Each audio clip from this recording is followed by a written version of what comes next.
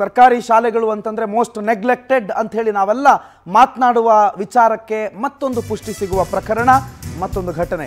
ಸರ್ಕಾರವೇ ನಿರ್ಲಕ್ಷ್ಯತನ, ಸರ್ಕಾರಿ ಶಾಲೆಯ ಮೇಲೆ ಸರ್ಕಾರವೇ ಕೇರ್ ಮಾಡಿಲ್ಲ ಅಂತಂದ್ರೆ ಇನ್ಯಾರು ಬಂದು ಮಾಡ್ತಾರೆ? ಗ್ರಾಮೀಣ ಭಾಗದ ಸರ್ಕಾರಿ ಶಾಲೆಗಳಲ್ಲಿ ಅವ್ಯವಸ್ಥೆ ಒಂದಲ್ಲ, ಎರಡಲ್ಲ. ಶಾಲೆಗಳನ್ನು ಉಳಿಸಬೇಕಾದಂತ ಜನಪ್ರತಿನಿಧಿಗಳಿಗೆ ಅವ್ರಿಗೇನಾಗಬೇಕಿದೆ? ಅವ್ರ ಮಕ್ಕಳು ಓದಿ ದೊಡ್ಡವರಾಗಿಬಿಟ್ಟಿದ್ದಾರೆ. ಶಿಕ್ಷಣ ಸಚಿವರು ಈ ಸ್ಟೋರಿಯನ್ನು ನೋಡಲೇಬೇಕು. ಪ್ರತಿನಿತ್ಯ ನಿಮಗೆ ಮಿನಿಮಮ್ ಎರಡು ಮೂರು ಸ್ಟೋರಿ ತೋರಿಸ್ತಾ ಇದ್ದೀವಿ ಬಡ ಮಕ್ಕಳು ಓದುವಂಥ ಶಾಲೆಗಳು, ಸರ್ಕಾರಿ ಶಾಲೆಯಲ್ಲಿ ಯಾಕೆ ಒಂದು ಮೂಲ ಸೌಕರ್ಯ ಇಲ್ಲ? ಅಲ್ಲಿ ಮಕ್ಕಳಿಗೊಂದು ಟಾಯ್ಲೆಟ್ ಇಲ್ಲ, ಮಕ್ಕಳಿಗೆ ಕುಡಿಯೋ ನೀರಿನ ವ್ಯವಸ್ಥೆ ಸರಿಯಾಗಿಲ್ಲ. ಏಳು ವರ್ಷದಿಂದ ಈ ಶಾಲೆ ಅದ್ಯಾವುದೋ ಬಾಡಿಗೆ ಕಟ್ಟಡದಲ್ಲಿ ನಡೀತಾ ಇದೆ. ಆದರೂ ಕೂಡ ಸರ್ಕಾರ ಇದು ಯಾವುದ್ರ ಬಗ್ಗೆನೂ ತಲೆ ಕೆಡಿಸ್ಕೊಳ್ತಾ ಇಲ್ಲ. ಈ ಶಾಲೆಗಳು ಸಣ್ಣ ಸಣ್ಣ ಕೂಲಿ ಕಾರ್ಮಿಕರ ಮಕ್ಕಳು ಓದೋದಕ್ಕೆ ಬಳಕೆ ಆಗೋ ಶಾಲೆಗಳು, ಏನೋ ಸಣ್ಣ ಪುಟ್ಟ ಕೆಲಸ ಮಾಡಿಕೊಂಡು ತನ್ನ ಮಕ್ಕಳನ್ನ ಇಂಜಿನಿಯರು, ಡಾಕ್ಟ್ರು ಮಾಡಬೇಕು ಅಂತ ಕನಸು ಕಟ್ಕೊಂಡಿರ್ತಾರಲ್ಲ, ಅವರು ಕಳಿಸುವಂಥ ಈ ಸರ್ಕಾರಿ ಶಾಲೆಗಳನ್ನ ಸರ್ಕಾರವೇ ಕೇರ್ ಮಾಡ್ತಾ ಇಲ್ಲ ಅಂತಂದ್ರೆ ಇನ್ಯಾರು ಎಲ್ಲ ಊರಲ್ಲಿ ರಿಸೆಪ್ಷನ್ ಹುಟ್ಟೋದಕ್ಕೆ ಸಾಧ್ಯ ಇದೆಯಾ?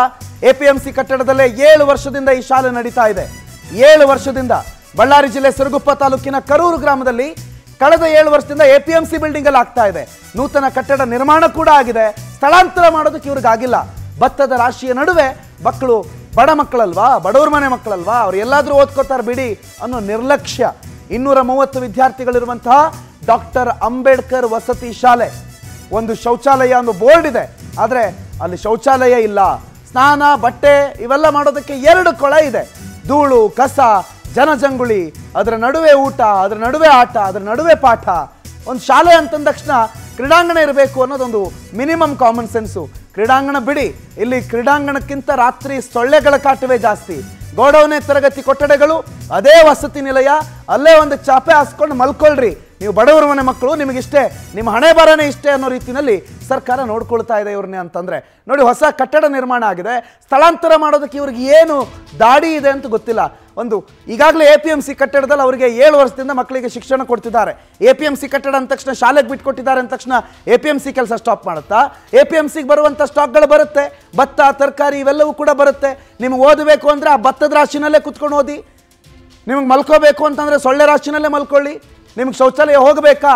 ಇಲ್ಲಿ ವಿಶಾಲವಾದ ಬಯಲಿದೆ ಹೋಗಿ ಅನ್ನೋ ರೀತಿಯಲ್ಲಿ ಈ ಸರ್ಕಾರಿ ಶಾಲೆಯವರು ವರ್ತನೆ ಮಾಡ್ತಿದ್ದಾರೆ. ಹೊಸ ಕಟ್ಟಡಕ್ಕೆ ಸ್ಥಳಾಂತರ ಮಾಡೋದಕ್ಕೆ ಏನು ಪ್ರಾಬ್ಲಮ್ಮು? ಏನು ಟೆಕ್ನಿಕಲ್ ಪ್ರಾಬ್ಲಮ್ಮಾ? ಜನಪ್ರತಿನಿಧಿಗಳು ಏನು ಮಾಡ್ತಿದ್ದೀರಿ? ಶಿಕ್ಷಣ ಸಚಿವರು ಏನು ಮಾಡ್ತಿದ್ದೀರಿ?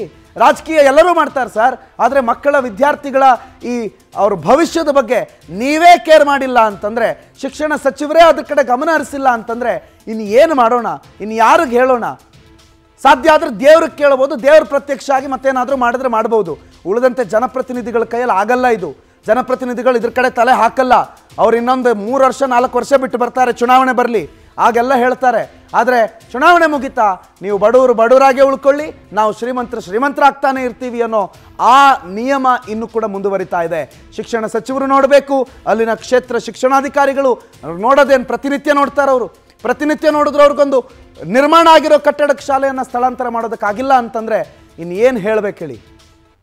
ಅಖಂಡ ಬಳ್ಳಾರಿ ಜಿಲ್ಲೆಯ ಎರಡೂ ಜಿಲ್ಲೆಗಳಲ್ಲಿ ನಾವು ಇವತ್ತು ಅವಲೋಕನ ಮಾಡಿದಾಗ ಬಳ್ಳಾರಿ ಜಿಲ್ಲೆಯ ಸಿರುಗುಪ್ಪ ತಾಲೂಕಿನಲ್ಲಿ ಏಳು ಎಸ್ ಸಿ ಎಸ್ ಟಿ ಮತ್ತು ಹಿಂದುಳಿದ ವರ್ಗದ ಮೊರಾರ್ಜಿ ದೇಸಾಯಿ ವಸತಿ ಶಾಲೆಗಳಿವೆ.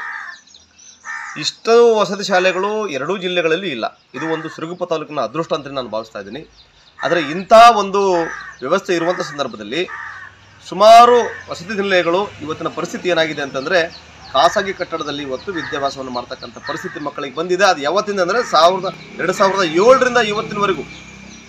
ಇವತ್ತಿನವರೆಗೂ ಕೂಡ ಕಟ್ಟಡಗಳನ್ನು, ಒರಿಜಿನಲ್ ಕಟ್ಟಡಗಳಲ್ಲಿ ಆ ಮಕ್ಕಳನ್ನು ಓದಿಸುವಂಥ ವ್ಯವಸ್ಥೆ ಆಗಿಲ್ಲ. ಉದಾಹರಣೆ ಅಂತ ಹೇಳಿದ್ರೆ, ಕರೂರಲ್ಲಿರ್ತಕ್ಕಂಥ ಅಂಬೇಡ್ಕರ್ ವಸತಿ ಶಾಲೆಯಲ್ಲಿ, ಮೊರಾರ್ಜಿ ದೇಸಾಯಿ ವಸತಿ ಶಾಲೆಯಲ್ಲಿ. ಸೊ ಅವತ್ತಿಂದ ಇವತ್ತಿನವರೆಗೂ ಎ ಪಿ ಎಂ ಸಿ ಕಾ ಗೌಡನ್ನಲ್ಲಿ ಆ ಮಕ್ಕಳಿಗೆ ಆ ಒಂದು ಏನು ಸಮಾಜ ಕಲ್ಯಾಣ ಇಲಾಖೆಯ ಡೆಪ್ಯೂಟಿ ಡೈರೆಕ್ಟರ್ ಉಪನಿರ್ದೇಶಕರು ಸತೀಶ್ ರೆಡ್ಡಿ ನಮ್ಮ ಜೊತೆಗೆ ಫೋನ್ ಸಂಪರ್ಕದಲ್ಲಿದ್ದಾರೆ. ಸತೀಶ್ ಸರ್ ನಮಸ್ಕಾರ. ನಮಸ್ತೆ ಸರ್ ನಮಸ್ತೆ. ಸರ್ ನಾನು ಮತ್ತೇನು ಕೇಳಲ್ಲ ಹೊಸ ಕಟ್ಟಡ ರೆಡಿ ಆಗಿದೆ ಅಂತ ಮಾಹಿತಿ ಇದೆ. ಯಾಕೆ ಸರ್ ಸ್ಥಳಾಂತರ ಆಗ್ತಿಲ್ಲ? ಯಾಕಲ್ಲಿಗೆ ಯಾಕೆ ಅಲ್ಲಿಗೆ ಸ್ಥಳಾಂತರ ಮಾಡೋದಕ್ಕೆ ಏನು ತೊಂದರೆ? ಏನು ಪ್ರಾಬ್ಲಮ್ ಇದೆ ಟೆಕ್ನಿಕಲಿ ಇಲ್ಲ ಈ ಶಾರ್ಟ್ ಮಾಡ್ತಾರೆ ಸರ್ ಇಲ್ಲಿ ಎಂಟು ದಿವಸದಲ್ಲಿ ಶಿಫ್ಟ್ ಆಗ್ತೀವಿ ನಾವು. ಸರ್ ಎಂಟು ಹತ್ತು ದಿವಸದಿಂದ ಶಿಫ್ಟ್ ಅಂತ ನೀವು ಹೇಳ್ತೀರಿ. ಆ ಮಕ್ಕಳು ಪಾಪ ಭತ್ತದ ರಾಶಿನಲ್ಲಿ ಕೂತ್ಕೊಂಡು ಓದ್ತಾರೆ. ಒಂದು ಶೌಚಾಲಯ ಇಲ್ಲ ವಸತಿ ಶಾಲೆ ಸೊಳ್ಳೆಗಳ ಕಾಟ ಕ್ರೀಡಾಂಗಣ ಇಲ್ಲ. ಏನ್ ಮಾಡ್ಬೇಕು ಸರ್? ಸರ್ಕಾರಿ ಶಾಲೆ ಅಂತಂದ್ರೆ ಇಷ್ಟೇನಾ? ನೀವು ಬಡವ್ರ ಮಕ್ಕಳು ಇಷ್ಟೇ ನೀವು ಹಿಂಗೆ ಇದ್ದು ಬಿಡಿ ಅಂತ ಹೇಳ್ಬಿಡಿ ಸರ್. ನಾವು ಎಕ್ಸ್ಪೆಕ್ಟೇ ಮಾಡಲ್ಲ. ಇಲ್ಲ ಇಲ್ಲ ನಾವು ಆ ರೀತಿ ಹೇಳ್ತಾ ಇಲ್ಲ. ಇದು ವರ್ಕ್ ಕಂಪ್ಲೀಟ್ ಆಗಿರ್ಲಿಲ್ಲ ರಸ್ತೆ ಕೂಡ ಇನ್ನೂ ಆಗಿರ್ಲಿಲ್ಲ. ಸಣ್ಣ ಪುಟ್ಟ ಕೆಲಸಗಳು ಬಾಕಿ ಇದ್ವು. ಸಂಪೂರ್ಣವಾಗಿ ಮುಗಿಸ್ಕೊಂಡು ಅಲ್ಲಿ ಹೋಗ್ಲಿಕ್ಕೆ ನಾವು ಸಿದ್ಧ ಮಾಡ್ಕೊಂಡಿದ್ವಿ. ಈಗ ಸಂಪೂರ್ಣವಾಗಿ ಮುಗಿದಿದೆ ಎಕ್ಸೆಪ್ಟ್ ಒಂದ್ ಇದ್ರ ವರ್ಕ್ ಯಾವುದು ಸಭಾ ಸಭಾಭವನದ್ದು. ಈಗ ನಾವು ಶಾರ್ಟ್ಲಿ ಇದನ್ನ ಶಿಫ್ಟ್ ಮಾಡ್ಲಿಕ್ಕೂ ಕೂಡ ನಾವು ಕ್ರಮ ಕೈಗೊಳ್ತಾ ಇದೀವಿ ಇನ್ನು ಪ್ರಾಬ್ಲಿ ಒಂದ್ ವೀಕ್ ಟೆನ್ ಡೇಸ್ ಅಲ್ಲಿ ನಾವು ಎಲ್ಲ ಹೊಸ ಶಾಲೆಗೆ ಶಿಫ್ಟ್ ಆಗ್ತೀವಿ. ಅಲ್ಲಿಗೆ ಎಲ್ಲ ಮೂಲಭೂತ ಸೌಕರ್ಯಗಳು ಕೂಡ ಈಗ ಸರ್ಕಾರದಿಂದ ನಮಗೆ ಮಂಜೂರು ಮಾಡಿ ಕೊಟ್ಟಿದ್ದಾರೆ ಮಕ್ಕಳಿಗೆ ಡೆಸ್ಕ್ ಇರ್ಬೋದು. ಮತ್ತೊಂದು ಇರ್ಬೋದು ಎಲ್ಲ ಕೊಟ್ಟಿದ್ದಾರೆ. ಆದಷ್ಟು ಶೀಘ್ರದಲ್ಲಿ ನಾವು ಶಿಫ್ಟ್ ಮಾಡ್ತೀವಿ ಸರ್ ಈಗ ನಮ್ಮ ಆಗ್ರಹ ಏನ್ ಗೊತ್ತಾ ಸರ್ ನಮ್ಮ ಆಗ್ರಹ ಏನ್ ಗೊತ್ತಾ ಸರ್ ನೀವು ಐಟಮ್ಸ್ ಗಳನ್ನ ಆ ಬುಕ್ಗಳನ್ನ ಅಥವಾ ಬೇರೆ ಬೇರೆ ಏನೇನ್ ಶಿಫ್ಟ್ ಮಾಡಬೇಕು ಅದನ್ನೆಲ್ಲ ನೀವು ಆರಾಮಾಗಿ ಮಾಡ್ಕೊಳ್ಳಿ. ಆದ್ರೆ ವಿದ್ಯಾರ್ಥಿಗಳನ್ನ ಈ ಕ್ಷಣವೇ ನೀವು ಶಿಫ್ಟ್ ಮಾಡ್ಬೇಕು ಸರ್ ನಾಳೆ ಬೆಳಿಗ್ಗೆ ಮಕ್ಕಳು ಆ ಹೊಸ ಕಟ್ಟಡದಲ್ಲೇ ಪಾಠ ಕೇಳಬೇಕು ಸರ್. ನಾಳೆ ಬೆಳಿಗ್ಗೆ ಅಲ್ಲಿ ಬೋರ್ಡ್ ಇದೆ ಅಲ್ವಾ? ಡೆಸ್ಕ್ ಇದೆ ಅಲ್ವಾ? ಬೆಂಚ್ ಇದೆ ಅಲ್ವಾ? ಶಿಕ್ಷಕರು ಬರೋದಕ್ಕೆ ಹೋಗೋದಕ್ಕೆ ಜಾಗ ಇದೆ ಅಲ್ವಾ? ದಯವಿಟ್ಟು ಮಕ್ಕಳನ್ನ ಶಿಫ್ಟ್ ಮಾಡಿ ಸರ್. ನೀವು ಆಮೇಲೆ ನಿಧಾನವಾಗಿ ನೀವು ಮಿಕ್ಕಿರೋದೆಲ್ಲ ಮಾಡ್ಕೊಳ್ಳಿ. ಒಂದು ವಾರ ಹತ್ತು ದಿನ ಟೈಮ್ ಕೇಳಿದ್ರಲ್ಲ ಅದ್ರಲ್ಲಿ ನೀವು ಆರಾಮಾಗಿ ಮಿಕ್ಕಿರೋ ಕೆಲಸ ಮಾಡ್ಕೊಳ್ಳಿ. ಮಕ್ಕಳನ್ನ ಈ ಕ್ಷಣವೇ ಅಟ್ಲೀಸ್ಟ್ ಇವತ್ತಾಗಿಲ್ಲ ಅಂತಂದ್ರೆ ನಾಳೆಯಿಂದ ಆದ್ರೂ ಮಕ್ಕಳು ಆ ಹೊಸ ಕಟ್ಟಡದಲ್ಲಿ ಪಾಠ ಕೇಳಲೇಬೇಕು ಸರ್ ಎಸ್ ಸರ್ ಎಸ್ ಆ, ಸರ್ ನಾಳೆ ಇದನ್ನ ನೀವು ಮಾಡ್ತೀರಿ ಅಂತ ನಾವು ನಂಬ್ಕೊಂಡಿದೀವಿ. ನಾಳೆ ಆ ವಸತಿ ಹೊಸ ಕಟ್ಟಡ ಏನಿದೆ ಆ ಕಟ್ಟಡಕ್ಕೆ ನಮ್ಮ ಪ್ರತಿನಿಧಿ ವಿದ್ ಕ್ಯಾಮೆರಾ ಬರ್ತಾರೆ ಸರ್ ಸರಿ ಸರ್ ಸರಿ sir right right thank you thank you Satish Reddy sir ಮಾತನಾಡಿದ್ದಕ್ಕೆ. ಕಟ್ಟಡದ ವಿಚಾರದಲ್ಲಿ ನಾವೀಗ ಕೊಟ್ಟಿರೋ ಒಂದು ಡೆಡ್ಲೈನ್ ಅಂತ ಹೇಳಲ್ಲ, ನಾಳೆ ಅಟ್ಲೀಸ್ಟು ಆ ವಿದ್ಯಾರ್ಥಿಗಳಿಗೆ ಹೊಸ ಕಟ್ಟಡದಲ್ಲಿ ಪಾಠ ಆಗಬೇಕು. ಆ ಪಾಠದ ನಂತರ ನಾಳೆ ಅದಾದ ಮೇಲೆ ನೀವು ನಿಮ್ಮ ನಿಧಾನದ ಐಟಮ್ಸ್ಗಳನ್ನೆಲ್ಲ ನೀವು ಆಮೇಲೆ ಶಿಫ್ಟ್ ಮಾಡ್ಕೊಳ್ಳಿ. ಮಕ್ಕಳಿಗೆ ಮಾತ್ರ ನಾಳೆಯಿಂದಲೇ ಆ ಹೊಸ ಕಟ್ಟಡದಲ್ಲಿ ಶಿಕ್ಷಣ ಕೊಡಬೇಕು. ಇದು ನಮ್ಮ ಆಗ್ರಹ.